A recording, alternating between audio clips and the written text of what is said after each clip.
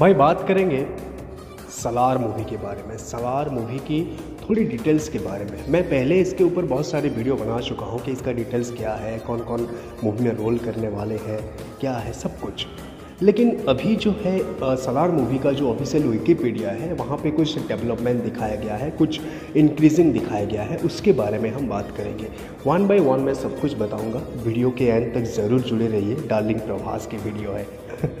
ठीक है। तो मैं यहाँ पे बताना चाहूँगा कि सलार मूवी की राइटिंग पार्ट जो है मतलब जो राइटर है वो भी प्रशांत नील है डायरेक्टर जो है वो भी प्रशांत नील है। प्रोड्यूस कर रहे हैं विजय किरागांधुर और सिनेमेटोग्राफर है भुवन गौड़ा एडिट बाय उज्जवल कुलकर्णी। ठीक है? और म्यूज़िक दिए हैं रवि बसरूर साहब और प्रोडक्शन कंपनी है होमले फिल्म्स ठीक है, ये कोई नई बात नहीं है। ये मैं आपको पहले से ही बता चुका हूँ कि के की पूरी टीम मूवी को बना रही है। ठीक है रिलीज़ डेट है 28 सितंबर 2023 मतलब आज से लगभग वन ईयर के बाद हमें ये मूवी देखने को मिल जाएगा। और ये मूवी तेलुगू और कन्नड़ा में रिलीज़ हो रही है और बाद में इसको हिंदी में हिंदी में और कई सारे लैंग्वेज में इसको डबिंग किया जाएगा। ठीक है?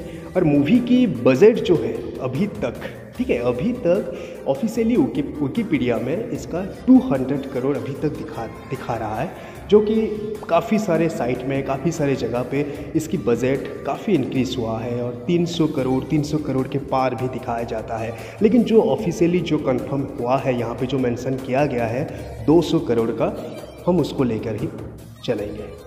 ओके और अभी हम बात करते हैं इसकी स्टार कास्ट के बारे में, जो कि आज की वीडियो की मेन मुद्दा है। स्टार कास्ट अभी यहाँ पे थोड़ा बढ़ गए हैं मेरे भाई। स्टार कास्ट की अगर बात करूँ तो डार्लिंग प्रभास इस मूवी में रोल कर रहे हैं लीड कैरेक्टर में है, जो कि उनका कैरेक्टर का नाम है सलार।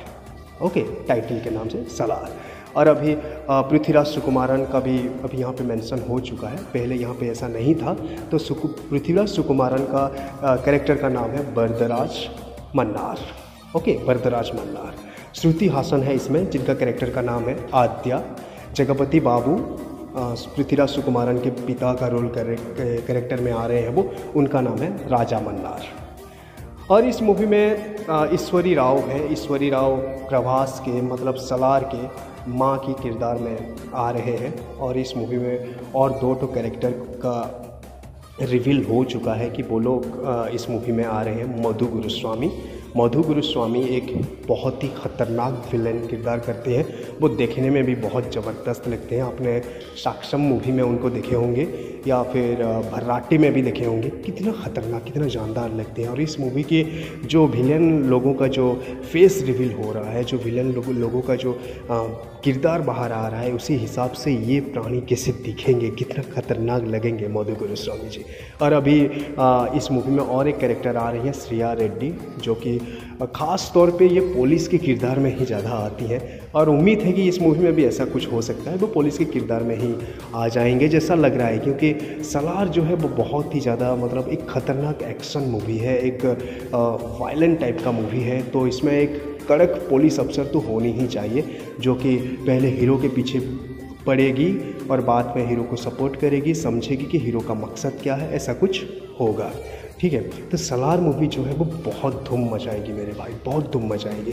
क्योंकि इसका जो जो कुछ भी अपडेट आ रहा है, जो कुछ भी सामने आ रहा है, बहुत ख़तरनाक लग रहा है। और डार्लिंग प्रभास के बर्थडे पर जब उनका लुक दिखाया गया है, उनका जो बॉडी दिखाया गया है, बहुत ही खतरनाक लगा है, बहुत ही खतरनाक लगा है। मतलब क्या लग रहे हैं यार प्रभास? मुझे तो बहुत खुशी मिली। हाँ अभी थोड़ी मतलब वायरल हो रहा है कि प्रभास अच्छे नहीं दिख रहे हैं, ऐसा बोल के। मैं लेकिन अपनी पर्सनल बात कर रहा हूँ यार, बहुत ही अच्छा लग रहा है। उनकी बॉडी एसन बॉडी लैंग्वेज बहुत ही ज़बरदस्त लग रहा है यार। क्यों ऐसा लोग बोल रहे हैं, पता नहीं। आपको कैसी लगी प्रभास की ये ये गेटअप ये उनकी बॉडी एसन इनकी, उनकी बॉडी लैंग्वेज कैसी लगी? ज़रूर कमेंट करना, उनकी लुक्स कैसी लगी ज़रूर कमेंट करना, या फिर आप भी उन लोगों में से हो जो प्रभास की लुक्स को अभी बुरा भला कह रहे हो सलार से। लेकिन मैं उन लोगों में से नहीं हूँ यार, क्योंकि सलार में प्रभास के लुक्स बहुत ज़बरदस्त हैं, बहुत ज़बरदस्त है।